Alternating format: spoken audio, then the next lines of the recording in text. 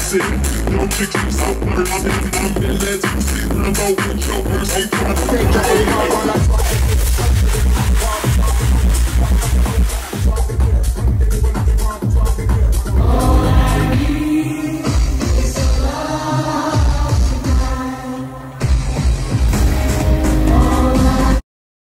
My first show in one year, my manager said, we have a big tour, you wanna go? I said, no, I don't wanna go. Then they said, we have another tour. There's a lot of shows, there's a lot of money. I'm telling you, I'm not making this up. This is a true story. I said, I don't wanna go. And then my manager said, yo, there's a show in North Cyprus, you wanna go? I said, fuck yeah, I wanna go. Because you guys always show me so much love. Thank you, I'm fucking thankful.